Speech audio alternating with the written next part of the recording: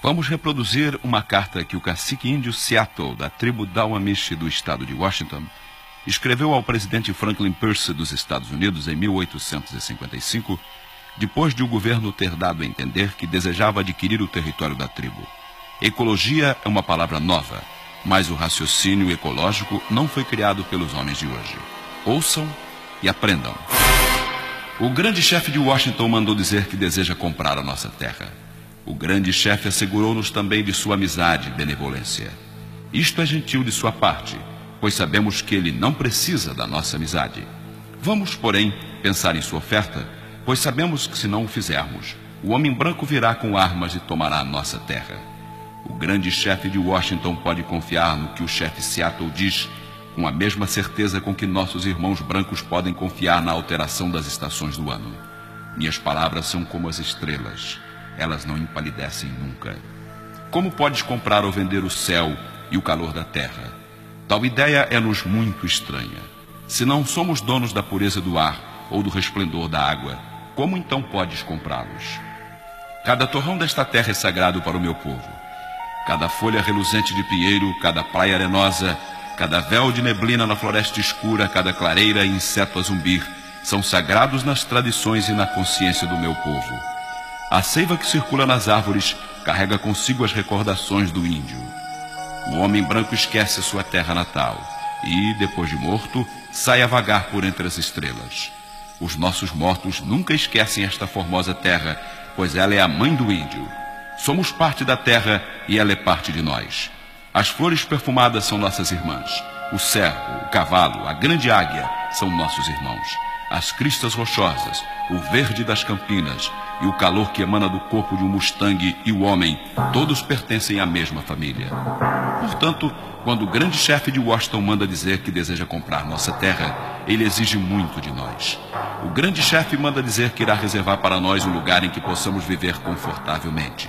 Ele será nosso pai e nós seremos os seus filhos. Portanto, vamos considerar a tua oferta de comprar a nossa terra. Mas não vai ser fácil, não, porque esta terra é para nós muito sagrada. Esta água brilhante que corre nos rios e regatos não é apenas água, mas sim o sangue de nossos ancestrais. Se te vendemos a terra, terás de te lembrar que ela é sagrada, e terás de ensinar a teus filhos que é sagrada, e que cada reflexo espectral na água límpida dos lagos conta os eventos e as recordações da vida do meu povo. O rumorejar da água é a voz do pai de meu pai. Os rios são nossos irmãos, eles apagam nossa sede. Os rios transportam nossas canoas e alimentam nossos filhos. Se te vendemos a nossa terra, terás de te lembrar e ensinar a teus filhos que os rios são irmãos nossos e teus, e terás de dispensar aos rios a afabilidade que darias a um irmão. Sabemos que o homem branco não compreende o nosso modo de viver. Para ele, um lote de terra é igual a outro, porque ele é um forasteiro que chega na calada da noite e tira da terra tudo o que necessita. A terra não é sua irmã, mas sim sua inimiga, e depois de a conquistar, ele vai embora. Deixa para trás os túmulos de seus antepassados e não se importa. Arrebata a terra das mãos de seus filhos e também não se importa.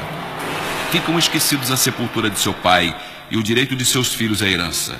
Ele trata sua mãe, a terra e seu irmão, o céu, como coisas que podem ser compradas, saqueadas, vendidas como ovelhas ou miçangas cintilantes. Sua voracidade arruinará a terra um dia, deixando para trás apenas um grande deserto. Não sei. Nossos modos diferem dos teus. A vista de tuas cidades causa tormento aos olhos do índio. Mas talvez isto seja assim por ser o índio um selvagem que nada entende. Não há sequer um lugar calmo nas cidades do homem branco. Não há um lugar onde se possa ouvir o desabrochar da folhagem na primavera ou o tinir das asas de um inseto. Mas talvez assim seja por ser eu um selvagem que nada compreende. O barulho parece apenas insultar os nossos ouvidos. E que vida é aquela se o homem não pode ouvir a voz solitária do curiango ou, de noite, a conversa dos sapos em volta de um brejo? Sou índio e nada compreendo. O índio prefere o suave sussurro do vento a sobrevoar a superfície de uma lagoa e o cheiro do próprio vento purificado por uma chuva do meio-dia ou recendendo a pinheiros. O ar é precioso para o índio porque todas as criaturas respiram em comum: os animais, as árvores, o homem. O homem branco parece não perceber o ar que respira. Como um moribundo em prolongada agonia, ele é insensível ao ar fétido. Mas se te vendermos nossa terra, terás de te lembrar que o ar é precioso para nós, que o ar reparte seu espírito com toda a vida que ele sustenta. O ar que deu ao nosso bisavô o seu primeiro sopro de vida, também recebe o nosso último suspiro. E se te vendemos nossa terra, deverás mantê-la reservada, feita santuário, como um lugar em que o próprio homem branco possa ir saborear o vento, adoçado com a fragrância das flores campestres. Assim, pois, vamos considerar tua oferta para comprar nossa terra.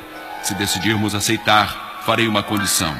O homem branco deve tratar os animais desta terra como se fossem seus irmãos. Sou um selvagem e desconheço que possa ser de outro jeito. Tenho visto milhares de bisões apodrecendo na pradaria, abandonados pelo homem branco que os abatia a tiros disparados do trem em movimento. Sou um selvagem e não compreendo como um fumegante cavalo de ferro possa ser mais importante que o bisão que nós, os índios, matamos apenas para o sustento de nossa vida. O que é o homem sem os animais? Se todos os animais acabassem, o homem morreria de uma grande solidão de espírito um dia. Porque tudo quanto acontece aos animais, logo acontece ao homem.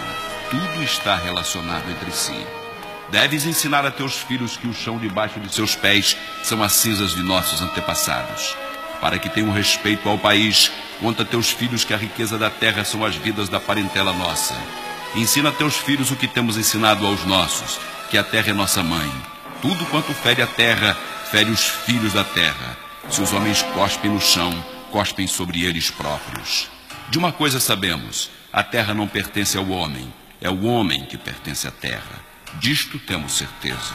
Todas as coisas estão interligadas como o sangue que une uma família. Tudo está relacionado entre si. Tudo quanto agride a terra, agride os filhos da terra. Não foi o homem quem teceu a trama da vida, ele é meramente um fio da mesma. Tudo que ele fizer a trama, a si próprio fará. Os nossos filhos viram seus pais humilhados na derrota. Os nossos guerreiros sucumbem sob o peso da vergonha e depois da derrota passam o tempo em ócio, envenenando o seu corpo com alimentos adocicados e bebidas ardentes. Não tem grande importância onde passaremos os nossos últimos dias. Eles não são muitos. Mais algumas horas, mesmo uns invernos, e nenhum dos filhos das grandes tribos que viveram nesta terra ou que tem vagueado em pequenos bandos pelos bosques sobrará para chorar sobre os túmulos um povo que um dia foi tão poderoso e cheio de confiança como o nosso. Nem o homem branco que tem um Deus que com ele passeia e conversa como de amigo para amigo, pode ser isento do grande destino comum. Poderíamos ser irmãos, apesar de tudo. Vamos ver. De uma coisa sabemos que o homem branco venha, talvez, um dia descobrir. O nosso Deus é o mesmo Deus. Talvez julgues agora que o podes possuir do mesmo jeito como desejas possuir nossa terra. Mas não podes, ele é o Deus da humanidade inteira e é igual sua piedade para com o índio e o homem branco. Esta terra é querida por ele e causar dano à terra é acumular de desprezo seu Criador. Os brancos também vão acabar um dia, talvez mais cedo do que todas as outras raças.